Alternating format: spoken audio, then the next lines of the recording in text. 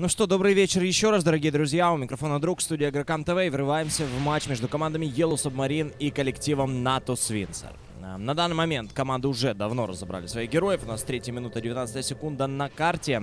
А, Вот. Ну и давайте быстренько посмотрим, что же мы пропустили. Нави выигрывают по счету 2-1. Квапа у нас погибла и погиб у нас СФ на мидлейне разменялись. Ну и Санейка заработал немного деньжат. В принципе, плюс для него безусловный. А здесь Рубик, кстати, поднялся по капусте. Тоже все это на мидлейне. Соло не оставляет у нас ни Бараша, ни Дэнди, конечно же. Игроки что одной, что другой команде. Ну, сразу давайте по героям э, разберемся. Yellow Submarine. ПСМ забирает себе Рубика. Бараш играет на SF в мидлейне. Witch Doctor у нас саппортит. А, саппортит где-то Witch Doctor. Witch Doctor у нас пока что на базе. Я так понимаю, саппортит здесь... Разора, на котором играет Мипошка. Э, и Дейл на Дарксире стоит в сложную линию. Со стороны команды Natus Vincere. Сразу давайте по лайнам. Там уже будем разбираться дальше. Хвост играет у нас на лайфстиллере. Артстайл помогает Хвосту на э, Shadow Демоне. Фаник играет у нас на Шейкере в сложной против Дейла. Ну и Санейка на Winter Wyvern. Уже видели его. И Квапа от Дэнди. Ну что, врыв пошел у нас Бараша. Подсловили его. Бараш будет пытаться раскастоваться в Дэнди. Дэнди здесь еще и от Таура огребает. Под save от Санейка пошел. И Бараш должен здесь догорать. Убивает все-таки Дэнди Бараша. ПСМ пытался его задонать, не получилось. Ну что, Нави повели по счету. Со- э, 3-1 они сейчас впереди. И Фаник у нас проседает по ХП. Ну, неудивительно. Против Айншела э, Дарксирова стоять... Айншела Дарксирова. Эм, стоять, конечно, на линии против Айншела от Дарксира Фанику непросто. Тут по ХП э, задница небольшая, конечно. У Шейкера пятый level и всего 700 ХП. Вот вам и силач. Ну, кое-как тут фиссурами хотя бы Фаник отбрасывается. Если что, есть Soul Ring у Фаника, поэтому более-менее можно и подраться. Хвост улетает. Хвост провязал Рейдж. Э, Рейдж и делает э, TP out. Если я не ошибаюсь, этот сет стоил около 400 баксов. Если я не ошибаюсь. По-моему, в этом... Мне говорили, что появился на Nike сет. Сет, который стоит 400 долларов практически. Сет, который нереально крутой. Ну, тут не скажешь, что прям так нереально крутой. Но я так понимаю, Immortal, да, скорее всего, судя по видоизменению э, скиллов. Рейдж поменялся, стоп. Да, все поменялось. В принципе, все поменялось.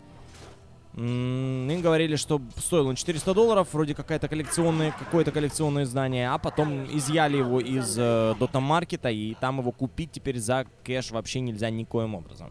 То есть где-то у кого-то, у хвоста, например, спрашивайте, покупайте. По-моему, так. Если, кстати, кто инфой владеет, напишите, так ли или не так. Ну что, а, по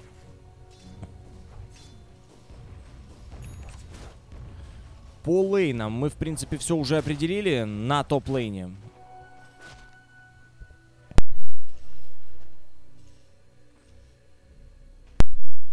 А, По лейнам, в принципе, мы определились. Э, Хвост у нас стоит на топ-лейне, стоит против триплы. Тут, кстати, не самый лучший э, вариант для carry команды Нави. У Хвоста, понятное дело, что выживаемость приличная за счет рейджа, да и за счет open wounds. Но если где-то зацепит Хвоста, то и Хвоста можно развалить. Рейдж, опять же, не спасает у нас от Static Link а. Только хотел сказать, Хвост уже отдает 70 дефа своим оппонентам. И дальше у нас э, Мипошка насасывает. Ну и приходит сюда Дейл. И Санейка, скорее всего, умрет. Нет, Санейка в колбу себя прячет. Разрывают здесь Разора. Дальше за Дейлом. Хвост без дэмэджа, ну хвост и так может, в принципе, срезать. Квапа. Нарал у нас на Дарксира. Дэнди забирает этот фраг. И за ПСМом бежит команда Нави. Yellow Submarine здесь потеряют минимум троих, а если кто-то еще подойдет, то и еще кого-то потеряют. Double kill в этом файте от Дэнди, и Хвост взялся, я смотрю, плотненько за эту игру. Обходят стенку аккуратно. Тут фейлов быть не должно, в принципе. Что SF у нас проседает на мидлейне. Ну, Yellow Submarine начали фидить. У них хорошо это, смотрю, получается. 8-1 счет. На восьмой минуте 8 фрагов уже для команды Нави. Многовато, согласитесь. Даже при том, что это Нави. Нави у нас вчера просто серьезнейший день провели. Отыграли три матча из четырех возможных в своей группе. И одержали две победы и одно поражение. Поражение от London Conspiracy. А победу Нави одержали над командой э, Hellraisers и над коллективом Vega Squadron. Ну, на данном этапе играют свою четвертую игру. Так, а как там... Как там Фаник поживает? Где он? Фаник в лес у нас отправляется. Фаник будет фармить лес. Хорошо. Почему бы и нет?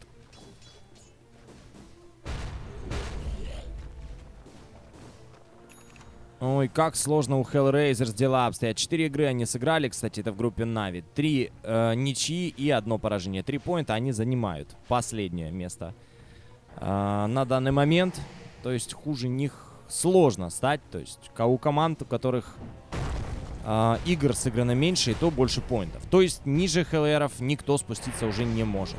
Ни одной победы и на этом, в принципе, участие для Львов окончено. Они у нас на International 100% не едут, а Нави надо бороться. У Нави, в принципе, группа на самом деле проходная.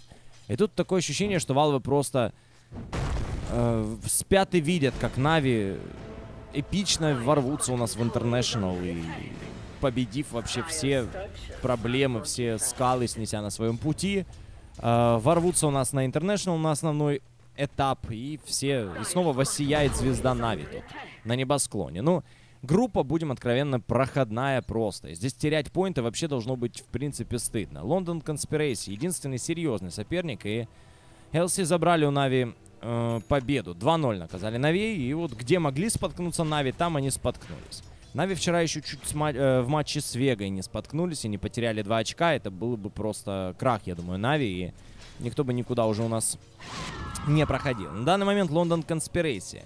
У них одна победа, одна ничья, одно поражение. В принципе, у Навей все будет очень даже э, комфортно, если эту катку они выигрывают со счетом 2-0, у них становится 9 очков, и, в принципе, они вне досягаемости своих оппонентов. London Conspiracy могут заработать 3 очка. То есть Нави единственное, что необходимо здесь сделать, а нет, не единственное. Кстати, Нави-то заработают один point, если в ничью сыграют. И London Conspiracy, если выигрывают 2-0 у своих следующих оппонентов, по-моему, Веги, а, зарабатывают 3 пункта. И у них становится 7 очков. Потому что сейчас 4. И у Нави становится 7 очков. И тогда по личной встрече, я так понимаю, или будет переигровка, или по личной встрече Нави у нас отдыхают. Скорее всего, переигровка. Тут Valve надавят на это, наверное, и протащат таки Навей на квалификации Интернешнала. Хотят их видеть там все, разумеется. Это все интересно ярко, все хотят видеть Навей, но так посмотришь на матч первый против Лондон Конспираси Нави, не очень-то и хотели, там как будто светиться.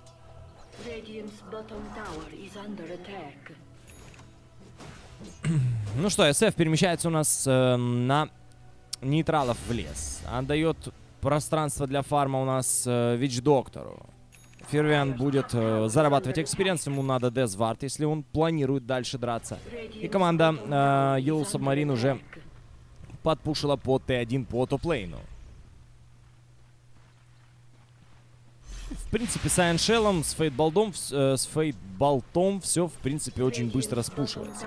Крипы умирают моментально, и фуловая пачка идет и, э, в принципе, танкует tower. Так что это не критично. На мидлейне Witch Doctor подойти близко боится, потому что у Дэнди девятый level. У Дэнди третий Scream of, о, четвертый Scream of Pain, у Дэнди Sonic Wave есть. Фервиан просто этот раскаст не переживает, у него 587 хп. Что вы вообще от него хотите? Я не хочу ничего решать, я не хочу получать Sonic Wave. Так, по э, фарму Нави выигрывают 5000, по experience у они выигрывают 4000 у своих оппонентов, счет 9-2. Ну и по net worth у давайте смотреть, кто там как расположен. Нави опережают по всем э, вообще позициям своих оппонентов. 4200 у Фаник, э, который играет на shaker е, это offlane Фаник, который в соло стоял против Dark Seer а. Dark Seer, который про проиграл shaker у. Эм, страшно аж смотреть на это. Хвост на втором месте, у него 4600. Ну и у Дэнди 4650. Дэнди в это время ждет, где бы найти э, Бараша. Кстати, врываться Дэнди нельзя. Все-таки врывается Дэнди. Ну и Бараша развалили. У Фаника забирает Эхо Слэм у нас ПСМ. Фаник половину хп сливает, но, в общем-то, Эхо Слэм тут очень даже щадящий прошел у нас по Фанику.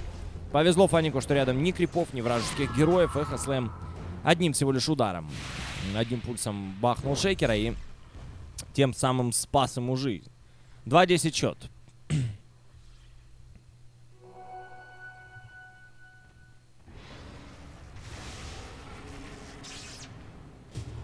Так, ну что, пошел у нас взрыв Мипошки. Ну, Yellow Submarine... Э, такое ощущение, что не, не до конца понимают, э, против кого э, они играют.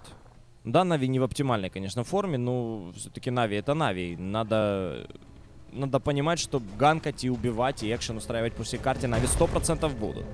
Тут, конечно, Yellow Submarine, э, мне кажется, немного недооценивают своих соперников, хотя казалось бы. Почему бы нет? Да, Нави не в оптимальной форме, но шарахнуть они могут это точно. И 2-11 счет. Я думаю, что это более чем показательно. Даже теорию можем нахрен выбросить. И на практике посмотрим, что Нави сильнее, чем команда э, Yellow Submarine.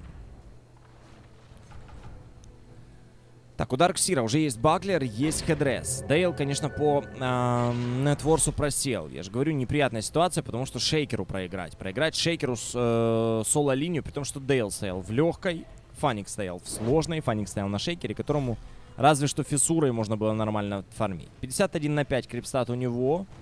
И 59 на 2 всего лишь у Dark Seer а на 15 минуте. Приплыли.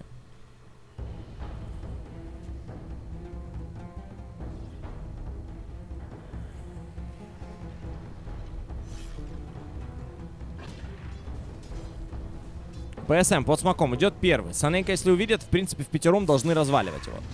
Ну что, поднимает у нас артстайла. Артстайл просто задувает назад э Shadow Poison.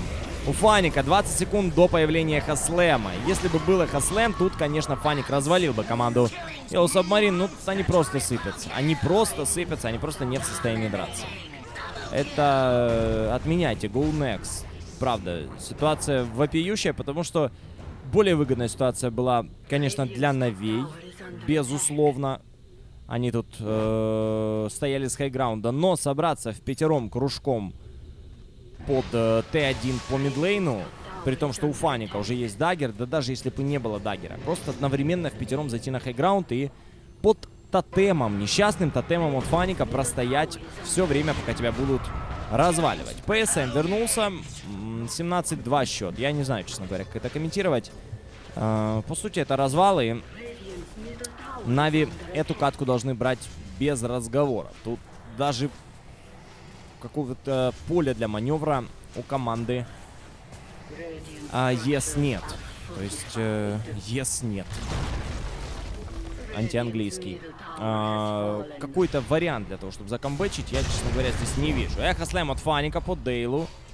Квапа, где ты? Дэнди, куда ты улетел? Дэнди улетел у нас на high ground и свалил отсюда. Артстайл тоже у нас на high ground е, пока еще на фонтан, как я понимаю, не ходил. Ну, YeS думают, мало ли, может, можно где-то прощупать слабые э, стороны команды Нави. Кто их только не щупал. А, и можно будет что-то для второй катки себе решить. Ну, у Yellow Submarine ситуация тоже не самая прекрасная. А, у них точно так же, как у Веги и как у Лондон Конспирейси. Из трех матчей одна победа, одна ничья, одно поражение. Просто обменялись любезностями, и это вариант, я вам хочу сказать. Где-то был бы в каком-нибудь профессиональном спорте, более-менее серьезном, столько бы вопросов появилось сразу у всех, как все команды друг против друга могут играть не в ничью, а у одной тут просто блещет вообще поинты.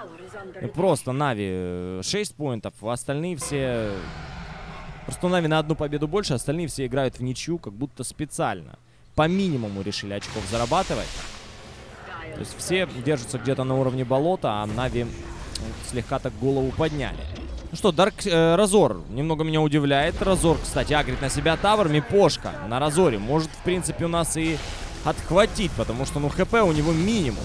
На хвоста Death Ward. Хвост тут тоже лишнее себя позволил. Дэнди Врывается на Мипошку. Мипошка в таверну. Уже godlike для Дэнди. Фаник здесь убивает. И Артстайл двоих убивает. Unstoppable для Shadow Demon а. Вот они, соперники для Артстайла. Команда Yellow Submarine. Рады приветствовать. 17 минут 40 секунд. Э, Нави выигрывают первую игру. Притом выигрывают ее, понятное дело, что вообще без вариантов для Yellow Submarine. Видно, что просто в файтах э, либо несобранность, либо неопытность команды Yellow Submarine. Они смотрятся намного слабее, как будто команда из другого дивизиона, так по факту и есть. Вот, ну, не хочется ничего говорить о Нави касательно данного матча. То есть по данному матчу судить э, ну, несерьезно просто в принципе. Если с London Conspiracy все наявно было, то здесь против Yellow Submarine то, что Нави выиграли с такой скоростью, ни о чем в принципе не говорит.